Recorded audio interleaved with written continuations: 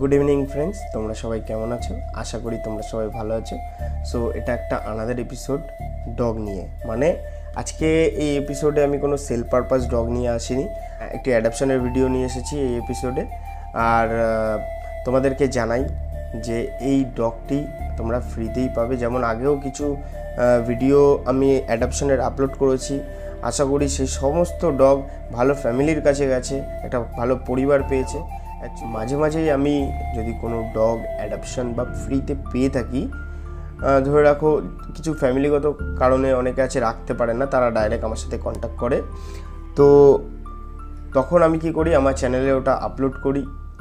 আমি চাই যে ডগটি একটু ভালো ফ্যামিলি পাক। তো সেক্ষেত্রে আমি আমার নিজের চ্যানেলে আপলোড করি, আমি ওখান থেকে কোনো কিছু পারচেস করি না। তোমরা ডাইরেক্ট ওখানে ওনারের নাম্বার ডেসক্রিপশানে দেওয়া থাকবে, তোমরা ডাইরেক্ট কন্ট্যাক্ট করতে পারো। ডিটেলসটা তোমাদেরকে তাও একবার বলে দিই। ডগটি আছে ব্যারাকপুরে। ওনারের কিছু পার্সোনাল প্রবলেমের কারণে উনি দিয়ে দিতে চাইছে। তো তোমরা ডাইরেক্ট ওখানে কল করে কন্ট্যাক্ট করে ডিটেলস তোমরা নিয়ে নাও। আর সব থেকে ভালো হবে যারা সিরিয়াস আছো, যে হ্যাঁ আমি একটা ডগ বাড়িতে রাখতে পারব বা দায়িত্ব নিতে পারব, তারাই কল করো ওনাকে। তাহলেই ভালো হবে। আর অনেকে আছে যে বাচ্চারা দেখে অনেকবার অনেক ফোন করবে।